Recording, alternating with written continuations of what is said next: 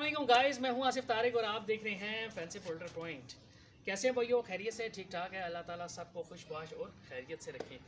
अच्छा भाइयों, आज का जो टॉपिक होगा हमारा ऑस्ट्रोलॉप का होगा। ऑस्ट्रोलॉप कहाँ से आई? कहाँ से दरियाफ्त हुई? ये बताया जाएगा और ऑस्ट्रोलॉप की पहचान क्या है, वो बताई जाएगी इस वीडियो में। ठीक है? जो भाई इस टाइम हमें ज्वाइन किया है तो यार सब्सक्राइब का बटन दबा दो। ठीक है? तो वीडियो बड़ी इंटरेस्टिंग होने वाली है। तो चलते हैं टॉपिक की तरफ़। अच्छा भाई हाजिर हो गए आपकी खिदमत में।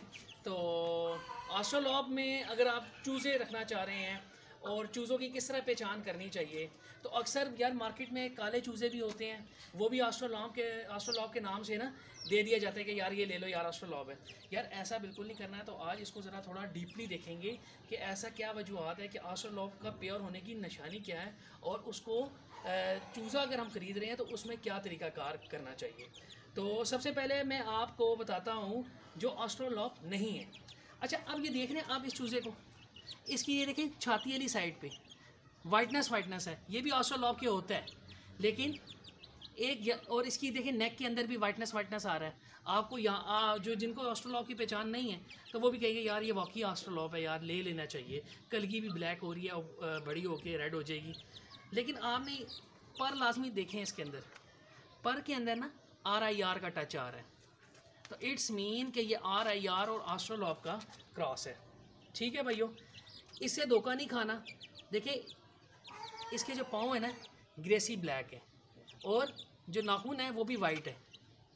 लेकिन इसके परों में ब्राउनिश आ गई है। तो इट्स मीन कि ये प्योर आस्ट्रोलॉप नहीं है।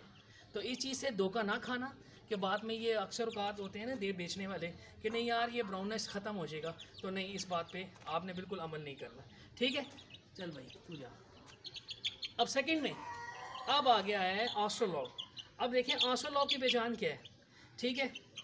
एक तो आप इसको धूप में रखेंगे ना तो इसके जो ये पर है ना ब्लूश मारेंगे ब्लूश कलर मारेंगे. सेकंड में इसके जो पाँव हैं, देखें ग्रेसी ब्लैक और जो इसके नाखून हैं, वो वाइट हैं. और उसी तरीके से जिस मैंने बताया इसकी नेक में वाइटनेस और छाती पे वाइटनेस और प्योर ब्लैक और काली कलगी जो जू ही बड़ा होगा, वो रेडिश हो जाएगी। ठीक है भाइयों? ये है ऑस्ट्रोलॉग की पहचान। ठीक है? अगर आप बड़ा लेना चाह रहे हैं तो बड़े को भी आपने इसी तरीके से चेक करना है। पहले उसके पाँव चेक कर लीजिएगा। ग्रेसी ब्लैक होने चाहिए, नाखून होने चाहिए वाइट होने चाहिए। ठीक है? और ये जो इसका वाइटनेस है ना, बचपन में जो कलर होता है, ये ख़त्म हो जाना चाहिए। इसमें ये प्योर ब्लैक होना चाहिए। ठीक है भाइयों? चल भाई, तू भी जा। बाकी यार ऐसे इंटरेस्टिंग वीडियो मैं आपके लिए खिदमत में पेश करता रहूँगा। ठीक है, बताइएगा कैसी वीडियो लगी है आस्ट्रोलॉग के मतलब तो ज़रूर बताइएगा। ठीक है, बाकी यार चैनल को लाइक करो शेयर करो सब्सक्राइब करो। आपका भाई आसिफ तारे खान इसी तरह इंटरेस्टिंग वीडियो लेके आता रहेगा। असलम वरहमल वर्का